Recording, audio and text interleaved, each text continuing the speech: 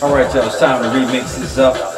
All right, another drum and bass remix coming from the Dr. Boss here. So let's go ahead and uh, try to make something happen. All right.